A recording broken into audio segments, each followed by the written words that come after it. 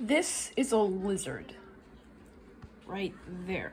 Our little sister Dorothy found it a couple days ago, But I picked it up. and now it's her pet. Uh, Even though my mom hates lizards and reptiles. we switched from one cage to another. The blue box one was was that big. yeah, it was small and also pretty dangerous because the lizard escaped. The lizard escaped when I got home yesterday. Yeah, it was pretty bad. You'll need to give it at least a couple minutes of the heat of a lamp, because if you don't, it'll be kind of cold and, you know, die. So remember to give it the heat of a lamp every once in a while.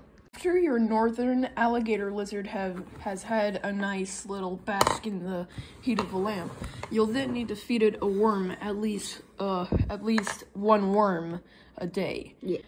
Her name is Goldie because she has a gold a gold hmm. back. I didn't know she just want to get on. She is a northern alligator lizard, so in the future, in about 18 more months, so a year and a half, she'll be, be, as long as this container. I don't know about that long, but at least a little long, actually.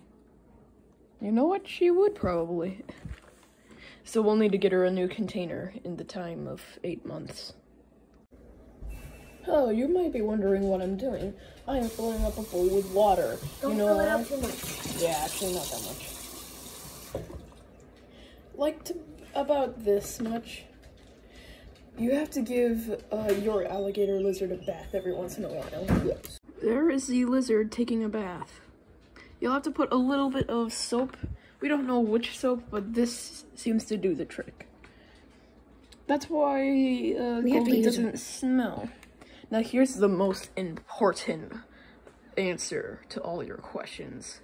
Goldie is spelled with an I-E at the end. Not a Y, not an E-Y, but an I-E. That did not work.